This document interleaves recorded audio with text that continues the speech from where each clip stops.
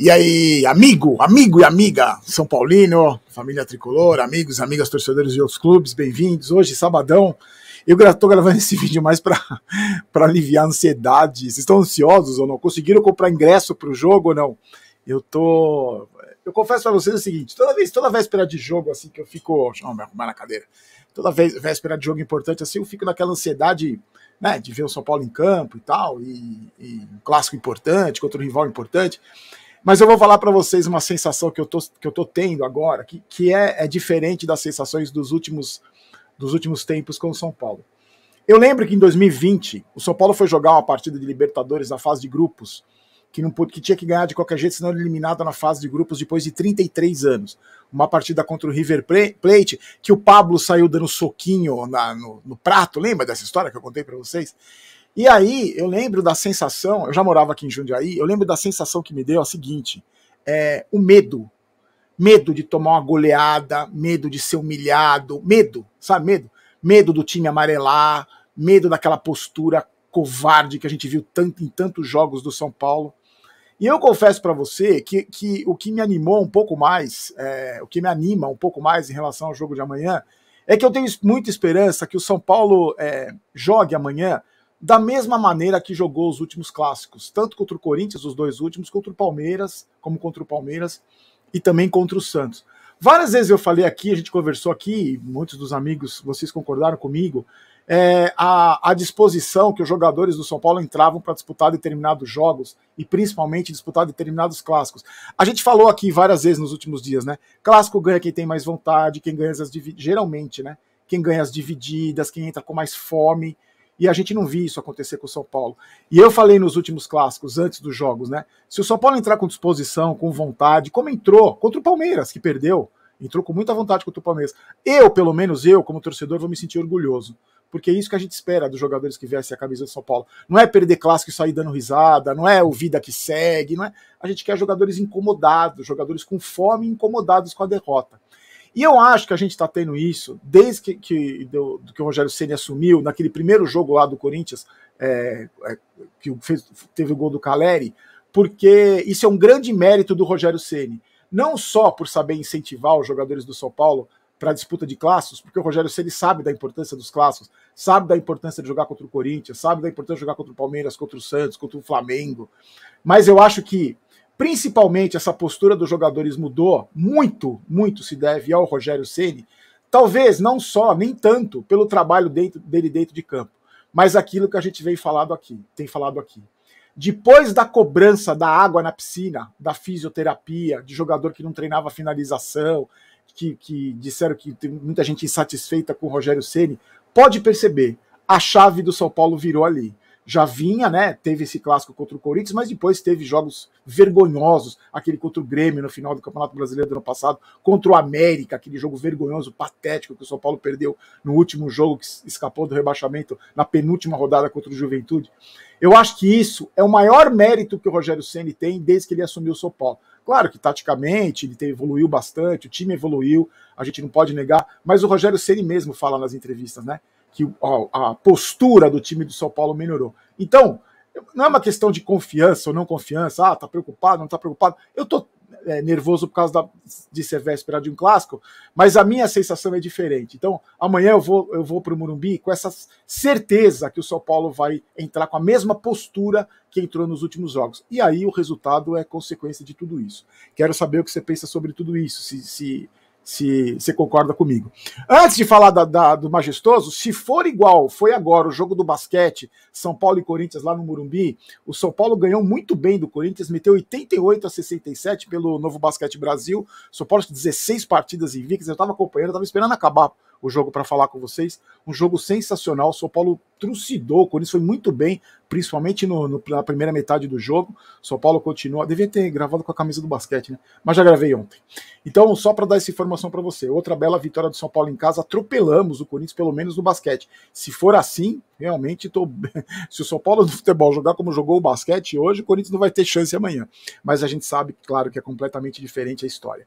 Vou falar dos. Bom, vamos começar a falar do clássico. Então, para gente, para você você não ficar olhando apenas para essa lata judiada pela ação do tempo, eu vou colocar para você aqui é, as imagens do último jogo, do último clássico entre Corinthians e São Paulo, entre São Paulo e Corinthians, a gente fica conversando aqui, a gente vai bater no nosso papo aqui, enquanto eu mostro para vocês, e vai ficar em loop, né? Vai ficar girando a, a, a as imagens para a gente lembrar, relembrar como é que foi o último clássico depois de muita chuva.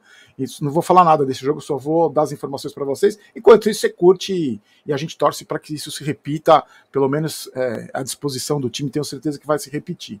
Bom, ó, muita gente reclamando até agora no meu Instagram sobre a venda de ingressos. E aí, todo mundo inconformado. É claro que sabe o que mais me irrita, gente? O que mais me irrita é assim: como vai lotar, não tem interesse em mudar. Qual é o interesse? Vai lotar de qualquer jeito, vai vender tudo. Então deixa a torcida passar raiva, não tem problema. Em jogo menor tem problema, mas é jogo menor. Então a torcida reclama, mas tudo bem. Em jogo grande eles vão reclamar, mas vai vender tudo. Não tem, então, se você, se você é o responsável pela empresa ou do contrato ou de, de arrumar uma outra empresa, um aplicativo para vender, você estaria preocupado? Vai vender todos, deve ter vendido já todos os ingressos. Então, deixa o torcedor reclamar, pena um pouco aí, não enche o saco, e aí vai vender tudo do mesmo jeito. Então, por isso que eu acredito que nada vai mudar. Mas muita gente é totalmente inconformada com a, o site da Total Acesso, que continua dando problema, continua dando problema. Ontem à noite eu gravei o um vídeo, hoje de manhã, entrei no Instagram conversando com vários amigos, todo mundo falando a mesma coisa. E já foram vendidos quase 50 mil ingressos então vai ter amanhã com certeza vai ser o jogo de maior público do São Paulo no ano. Só para você saber, é, contra o Corinthians no outro jogo, contra o, o, teve mais um pouco mais de 39 mil pessoas. O melhor público tinha sido foi até é, é até agora contra o Palmeiras na derrota por 1 a 0, um pouco mais de 46 mil pessoas. Eu acredito em mais de 50 mil amanhã, sei lá, 55 mil. Amanhã vai estar bonito demais o Murumbi. É, espero que você tenha conseguido a sorte. Daqui a pouco eu vou falar onde transmite mas espero que você tenha tido a sorte de conseguir comprar ingresso.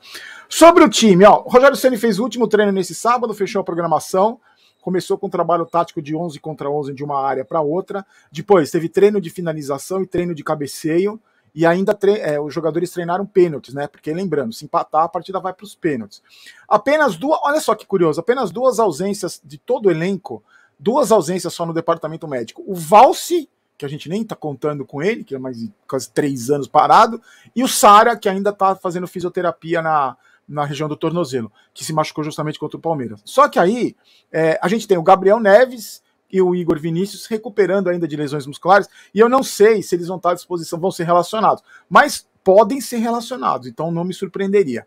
E também, e lembrando que tem o Arboleda fora com a seleção do Equador, disputando eliminatórias, e tem também o Moreira, que está na seleção sub-18 de Portugal. É, eu não vou. Eu acho que o Rogério Ceni vai com o mesmo time. Travou o YouTube aqui? Ah, não. É, eu acho que o Rogério Ceni vai com o mesmo time que esse time aí, com exceção do Sara, né? Mas eu não, não vou arriscar. Vou, vamos dizer, tá uma provável escalação aqui, ó. Jandrei, que acho que deve começar jogando, né? Isso aí a gente não tem dúvida. É, Rafinha, Diego Costa, Léo e Reinaldo, ou Wellington, não me surpreenderia se ele pusesse o Wellington. Pablo Maia titular, Rodrigo Nestor titular. Eu acho que o Alisson entra jogando. Igor Gomes, ou Marquinhos, ou Rigoni, não sei, mas eu acho que ele vai colocar o Igor Gomes. E na frente o Éder e o Caleri. Eu apostaria nessa escalação. Quer dizer, eu acho que pode ser essa escalação. Falando em escalação de São Paulo, o Nicão. Lembra que eu falei para vocês aqui uns tempos atrás, uns vídeos atrás, essa semana eu acho, que o Nicão tinha números. É, mais expressivos que o do Rigoni, né, de assistências, de passes decisivos e tal, e a gente concordou que o Rigoni é muito mais importante, até porque o, o Nicão é o 15º jogador apenas do São Paulo em, em tempo de em minutos jogados. Ele deu uma entrevista, elogiou muito o Rogério Ceni e falou que considera algumas críticas que ele está sofrendo injustas, porque aquela história que ele fez durante 6, 7 anos, uma longa pré-temporada, e né, que só não, não, treinava em janeiro e fevereiro, e só em março e abril, não sei o quê, e diz que as críticas eram injustas, porque ele tem jogado pouco. Lembrando que o Nicão tem 12 jogos pelo São Paulo e nenhum deles ele jogou 90 minutos. Nenhum. Aí testou positivo, aí tem, ainda não, não engrenou. Perdeu pênalti. O que eu queria falar pro, pro Nicão é o seguinte: você joga no São Paulo, Nicão. A pressão do São Paulo é muito diferente do que você sofreu no Atlético Paranaense que é um time que tem que tá ganhando, que disputa títulos, que é uma fase muito mais sossegada, que a torcida é muito mais está muito mais tranquila. No São Paulo é cobrança, irmão. No São Paulo é cobrança. De, a, e se especula que você custou 10 milhões em luvas, em comissão e tudo. Então você não quer ser cobrado, você não quer ser criticado. Você tá, nós estamos em abril, beleza, você fez pré-temporada janeiro e fevereiro, nunca fez, mas nós estamos em abril já, quase maio. E a gente está esperando mais de você. Você foi a contratação mais cara do São Paulo na temporada. Então é assim, sabe como você faz para não ter crítica injusta? Você joga bola. Você, o Igor Gomes, o Saro, o Reinaldo, o Volpe, o Rafinha, o Luciano, o Caleri, só jogar bola. Aliás, acho que eu vou com uma camisa do Igor Gomes amanhã escondida. Se ele fizer gol, eu vou tremular a bandeira, a camisa do Igor Gomes, porque a gente torce para todos eles. Cobra porque vocês jogam no São Paulo, cobra porque vocês ganham muito bem, cobra porque vocês têm toda a estrutura, cobra porque vocês jogam nos maiores clubes do Brasil e do mundo. Tem uma história gigantesca, então por isso que vocês são cobrados. Por isso que a torcida cobra. Deixa eu dar umas informações do Corinthians para vocês. Começaram também os preparativos um pouco mais tarde, né? Porque o Corinthians jogou na quinta-feira. Na sexta-feira, o técnico do Corinthians tinha, tinha, duas dúvidas. A primeira, o, o, Como é que é o nome do menino? Gustavo Mantuan. Ele, ele entrou no segundo tempo da partida contra o, o, o Guarani, levou uma pancada no joelho direito e, e na representação reclamou de dores e tal, estava fazendo tratamento. Outra dúvida, que eu duvido que seja dúvida, é o William, que levou uma pancada no quadril também no jogo contra o Guarani e fez tratamento. Tá, duvido, vai todo mundo. Não, duvido que algum jogador do Corinthians não vá para um dor, levou uma pancada na quinta-feira, não vá para o jogo. Então o Corinthians deve, já vou falar o time completo do Corinthians, o time que deve jogar. É, antes, só uma curiosidade. A última vitória do Corinthians contra o São Paulo no Morumbi foi em 2017, né? Naquele jogo do, que o Jô fez gol, o, o fair play do Rodrigo Caio, aquela história. E aí, olha que curioso, daquele elenco do Corinthians, três jogadores apenas ainda continuam no time. Dois titulares, o Cássio, que jogou aquele jogo, e o Fagner. Além do Jô, que fez o gol. E o Jô, o que aconteceu? O Jô não, não jogou contra o Guarani, ele foi comemorar o aniversário de 35 anos no Rio de Janeiro, disse que não conseguiu voltar, perdeu treino, e aí foi afastado, pagou uma multa, mas a diretoria do, Corinthians deu mais de uma chance para ele, disse que ele é, tem que ser mais profissional e tal, foi multado, ainda é dúvida, não se sabe se ele vai jogar o clássico. Então, Talvez o time que, que, que enfrente o São Paulo amanhã seja esse, ó. Cássio, Fagner, João Vitor, Gil e Lucas Piton. Duqueiroz, Paulinho, Renato Augusto, William, Roger Guedes e Gustavo Silva. A arbitragem, eu falei para vocês, mas vou repetir: Vinícius Gonçalves Dias Araújo, auxiliado por Alex Zang Ribeiro e Leonardo Tadeu Pedro e José Rocha Filho. É, no VAR. A transmissão, a transmissão, atenção, ó, Record TV, HBO Max, é, é, TNT Sports e Paulistão Play. Então, se você não conseguiu comprar ingresso, você, você tem essa. vai conseguir assistir. E aí, tem os tabus que estão em, jo em, em, jogo, né? O São Paulo não ganha do Corinthians em mata-mata desde o ano 2000 que, que de lá não vou contar a Florida Cup.